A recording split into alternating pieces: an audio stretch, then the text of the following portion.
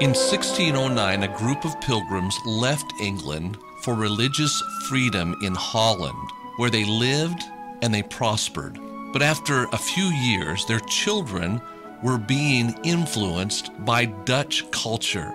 This worried the pilgrims. They considered the Dutch frivolous and their ideas a threat to their children's education and morality.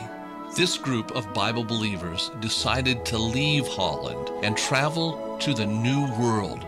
On September 6th, 1620, the pilgrims set sail for the New World on a ship called the Mayflower. They sailed from Plymouth, England, and aboard were 44 pilgrims and 66 others who the pilgrims called strangers.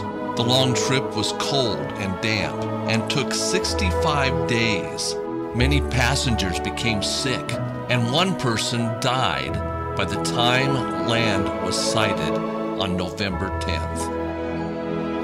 After land was sighted, a meeting was held and an agreement was worked out called the Mayflower Compact, which guaranteed equality and unified the two groups. They joined together and named themselves the Pilgrims. Although they had first sighted land off Cape Cod, they did not settle until they arrived at Plymouth. The Pilgrims' biggest concern was attacked by local Native American Indians. But the tribe that was there were a peaceful group and did not prove to be a threat whatsoever. The first winter was devastating to the pilgrims. The cold, snow, and sleet was exceptionally heavy, interfering with the work as they tried to construct their settlement. Of the 110 pilgrims and crew who left England, less than 50 survived that first winter. On March 16th, 1621, what was to become an important event took place. An Indian brave walked into the Plymouth settlement. The pilgrims were frightened until the Indian called out, Welcome, in English. His name was Samoset. Samoset left the next day. He soon returned with another Indian named Squanto. It was Squanto who taught the pilgrims how to tap maple trees for sap. He also taught them to plant crops. The harvest in October was very successful, and the pilgrims found themselves with enough food to put away for the winter. They had built homes in the wilderness. They had raised enough crops to keep them alive during the long coming winter. They were at peace with their Indian neighbors. They had beaten the odds, and it was time to celebrate. Governor William Bradford proclaimed a day of thanksgiving to be shared by all the colonists and the neighboring Native Americans. They invited Squanto and the other Indians to join them in their celebration, which lasted for three full days.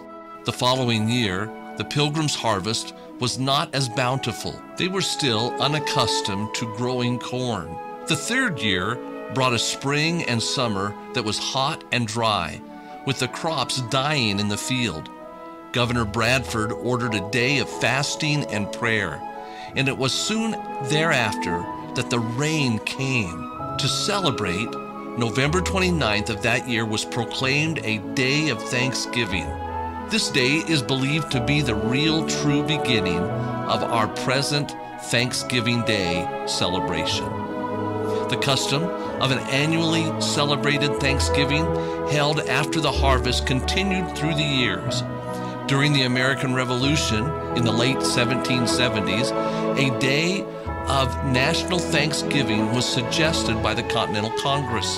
In 1863, President Abraham Lincoln appointed a national day of Thanksgiving.